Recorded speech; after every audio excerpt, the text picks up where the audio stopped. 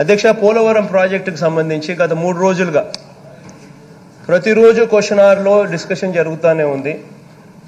ప్రతిరోజు మా irrigation minister లేచి చాలా సుదీర్ఘంగానే చాలా సుదీర్ఘంగానే ఇదే పోలవరం ప్రాజెక్టుకు సంబంధించి సుదీర్ఘమైన వివరణ ప్రతిరోజు అధ్యక్ష క్వశ్చన్ అవర్లో ఎవ్రీ డే లాస్ట్ మూడు రోజుల నుంచి మీరు రికార్డులు తిరిగేయండి అధ్యక్ష. మూడు రోజుల నుంచి ప్రతిరోజు ఇరిగేషన్ మినిస్టర్ ఇదే పోలవరం ప్రాజెక్టుకు సంబంధించి ప్రతిరోజు చెప్పిన వివరణే చెప్తా ఉన్నాడు. అంటే ప్రతిరోజు ఇట్ ఇస్ ద సేమ్ వివరణలో ఏమి మార్పు అనేది ఉండదు.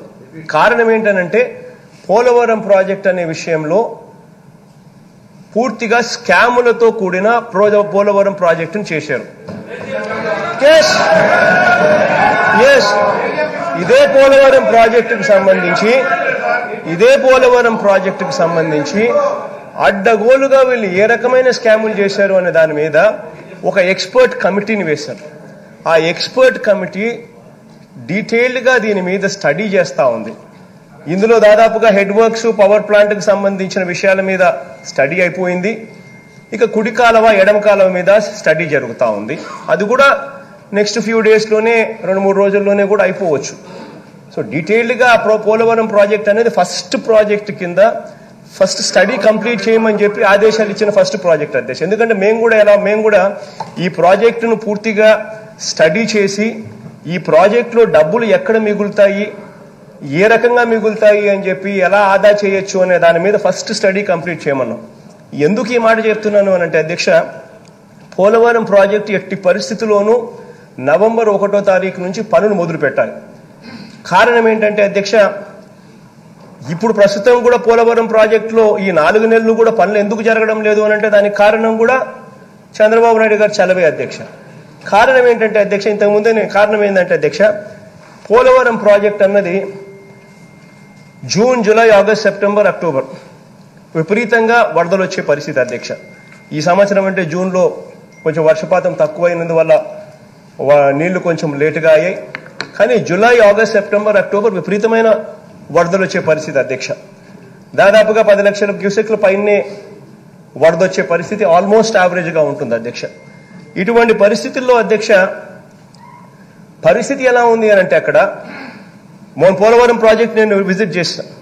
చేసినప్పుడు అధ్యక్ష this is the only project where where uh, ఈ పక్క కాఫర్ డ్యామ్ వర్క్స్ గోదావరి ఎలా పోతా ఉంటుంది అధ్యక్ష. కాఫర్ డ్యామ్ వర్క్స్ పూర్తి చేస్తే తప్పనిచ్చి కాఫర్ డ్యామ్ అనేది చేసిన కాఫర్ డ్యామ్ అనేది కడితేనే మెయిన్ డ్యామ్ అనేది కట్టొచ్చు. రెండో వైపున ఇటువైపున స్పిల్వే స్పిల్వే ఇటువైపు ఉంటుంది. This is the only project where where the main dam and the spillway are separate components this is the only project వీళ్ళు చేసిన తప్పు ఏంటంటే అధ్యక్ష స్పిల్వే పనులు అనేది పూర్తి చేయకుండా కాఫర్ డ్యామ్ మీద పనులు చేయడం మొదలుపెట్టారు. కాఫర్ డ్యామ్ మీద పనులు చేయడం వల్ల వచ్చిన నష్టం ఏం జరిగింది అని అంటే అధ్యక్ష స్పిల్వే వర్కులు పూర్తి కాకుండా కాఫర్ డ్యామ్ పన్ను మొదలుపెట్టినందు వల్ల వచ్చిన నష్టం ఏం జరిగింది అని అంటే కాఫర్ డ్యామ్ కాఫర్ డ్యామ్ అన్నది కడితేనే మెయిన్ డ్యామ్ అనేది కట్టడం మొదలు పెట్టాలి సో దాదాపుగా అప్రాక్సిమేట్లీ గోదావరి విడుతూ సే అప్రాక్సిమేట్లీ ఒక వన్ పాయింట్ ఫోర్ కిలోమీటర్స్ అప్రాక్సిమేట్లో ఉంది అనుకుంటే అధ్యక్ష. ఇందులో కాఫర్ డ్యామ్ ఇందులో ఆ వన్ పాయింట్ ఫోర్ కిలోమీటర్స్ గుండా గోదావరి వెళ్ళిపోతే వరద అన్నది ఇతర ప్రాంతాల మీద పడదు. ఎందుకనంటే వన్ పాయింట్ ఫోర్ కిలోమీటర్స్ విడుతుంటుంది కాబట్టి. కానీ ఇక్కడ ఏం చేశారు అంటే ఈ కాఫర్ డ్యామ్ కట్టడం వల్ల ఆ one point four kilometres width అన్నది దాదాపుగా డెబ్బై శాతం తగ్గిపోయింది. సో నీళ్ళన్నీ కూడా కేవలం ఆ మిగిలిపోయిన ముప్పై శాతంలో నుంచే నీళ్ళు బయటికి రావాలి.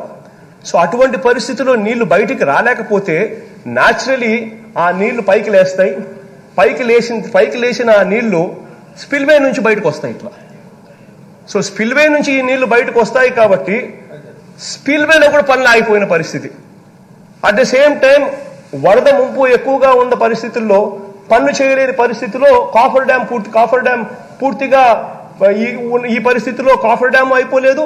కాఫర్ డ్యామ్ అవతల ఉన్న ఈ డ్యామ్ మెయిన్ డ్యామ్ వర్కులు చేయలేని పరిస్థితి. సో నాలుగు నెలలు పూర్తిగా వర్కులు ఆగిపోయిన పరిస్థితి.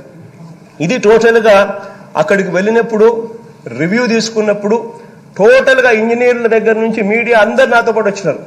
అందరి కళ్ళ ముందనే రివ్యూ తీసుకున్నాం. అందరి కళ్ళ ముందనే జరిగిన విషయాలు అధ్యక్ష ఇది.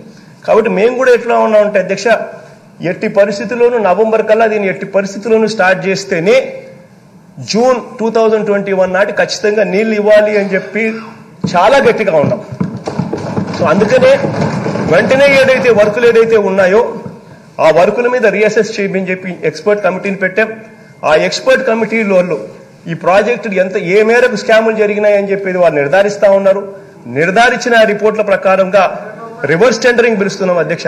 First time this has been attempted in this state probably this will set a new precedent for the country టోటల్గా ఆ పోలవరం ప్రాజెక్టుకు సంబంధించినంత వరకు ఏ రకమైన ఏ రకమైన పనులలో వాళ్ళు పిలిచిన రేట్ ఎంత అని చెప్పి కోట్ చేస్తా ఉన్నాం అధ్యక్ష. దిస్ రేట్ ఏదైతే ఉంటుందో ఆ రేటు ప్రకారం ఆ రేటును పెట్టి ప్రీ క్వాలిఫికేషన్ క్రైటీరియాను రిలాక్స్ చేసి ఎక్కువ మందిని పార్టిసిపేట్ చేసేట్టుగా చేస్తా ఉన్నాం. ఈ రేట్ ఏదైతే ఈ రేట్ ఏదైతే పెడతా ఉంటామో వాళ్ళు ఏదైతే కోట్ చేసినారో అదే రేట్ పెడతాం అధ్యక్ష. పెట్టిన తర్వాత టైం ఇస్తాం. టైం ఇచ్చిన తర్వాత ఎవరైనా కూడా ఆ రేటు కాంపిటేటివ్గా ఆ రేటుకు కోట్ చేయొచ్చు. ఆ రేటుకు కోట్ చేసిన తర్వాత ఆ, తర్వాత ఏ రోజైతే కాంట్రాక్ట్ టెండర్లు ఓపెన్ చేస్తారో ఓపెన్ ఓపెన్ చేసి అంతా ఆన్లైన్ అధ్యక్ష. ఓపెన్ చేసి ఆ రోజు బిడ్డింగ్ ప్రాసెస్ పెడతాం. బిడ్డింగ్ ప్రాసెస్ పెట్టి ఎవరైతే ఎల్వన్గా ఇంతకు ముందు కోట్ చేసింటారో ఆ రేట్ ఫ్లాష్ అవుతా ఉంటుంది. ఆ రేటు కన్నా ఎక్కువ తక్కువగా ఎవరైనా కూడా పార్టిసిపేట్ చేసిన వాళ్ళు ఎవరైనా కూడా ఆప్షన్లో పార్టిసిపేట్ చేయొచ్చు. పార్టిసిపేట్ చేసి ఎవడు ఎంత తక్కువ రేటు కోట్ చేస్తారో మనకు కనిపిస్తా ఉంటుంది అధ్యక్ష. కనిపించిన మేరకు ఎవరైతే ఎంత తక్కువ రేటు కోట్ చేస్తారో వాళ్ళకు వర్కులు ఇచ్చే కార్యక్రమం చేయబోతా ఉన్నాం అధ్యక్ష. దీనివల్ల నాకున్న ప్రిలిమినరీ అసెస్మెంట్ రిపోర్ట్లు అధ్యక్ష అధికారులతో మాట్లాడితే కనీసం అంటే పదహైదు నుంచి ఇరవై శాతం మధ్య కనీసం అంటే మిగులుతుంది అని చెప్పి అధికారులు పూర్తిగా చెప్తా ఉన్నారు అధ్యక్ష. అంటే ఏ లెవెల్ ఆఫ్ స్కామ్ జరుగుతుందో చూడండి అధ్యక్ష. ఆరు వేల ఐదు వందల కోట్ల రూపాయల వర్కుల్లోనే దాదాపుగా పదహైదు శాతం నుంచి ఇరవై శాతం మిగిలే పరిస్థితి ఉంది అని అంటే దాని అర్థం ఏంటంటే దాదాపుగా పదహైదు వందల కోట్ల రూపాయలు కనీసం ఇక్కడే ఆరు వేల ఐదు వందలు ఇంటూ కనీసం కనీసం పదహైదు నుంచి ఇరవై శాతం అంటే కనీసం ఫిఫ్టీన్ హండ్రెడ్ క్రోర్స్ కనీసం పదహైదు వందల కోట్లు మిగిలే పరిస్థితిలో ఆ చిన్న వరకులోనే పదహైదు వందల కోట్లు మిగిలే పరిస్థితిలో కనిపిస్తా ఉన్నాయంటే ఒక్కసారి అర్థం చేసుకోండి అధ్యక్ష.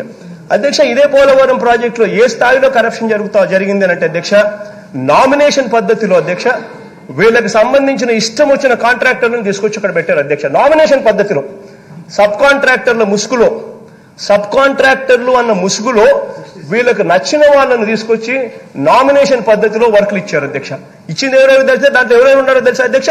సాక్షాత్తు చంద్రబాబు నాయుడు గారికి మంత్రివర్గంలో ఉన్న మంత్రివర్గంలో ఫైనాన్స్ మినిస్టర్గా పనిచేసిన పనిచేసిన యనమల రామకృష్ణుడు గారు వియంకుడు కూడా చివరికి చివరికి సబ్ కాంట్రాక్టర్గా అక్కడ పోలవరం ప్రాజెక్ట్లో పనిచేస్తా ఉన్నాడు అధ్యక్ష. At enhance rates at enhance rates at at- at పెంచిన రేట్లు అట్ ఎన్హాన్స్డ్ రేట్స్లో పనిచేస్తా ఉన్నాడు అధ్యక్ష. ఇవన్నీ కూడా అక్కడ జరుగుతా ఉన్న నేపథ్యంలో ఎంతటి దారుణమైన స్కాములు జరుగుతా ఉన్నాయన్న నేపథ్యంలో అక్కడ ఇంకా అధ్యక్షంగా ఒక అడుగు ముందుకు వేస్తే ఆ పవర్ ప్లాంట్కి సంబంధించి జన్కో జన్కో జన్కో ద్వారా వీళ్ళకి కావాల్సిన నవయుగ అనే కంపెనీకి ఇచ్చారు అధ్యక్ష వర్కులు. ఆశ్చర్యం ఏమిటో తెలుసా అధ్యక్ష? ఇంతవరకు వర్కులు స్టార్ట్ కాల. ఇంతవరకు డిజైన్స్ ఫైనలైజ్ కాల. ఇంతవరకు వర్కులు స్టార్ట్ కాల. కనీసం ఒక అడుగు ఒక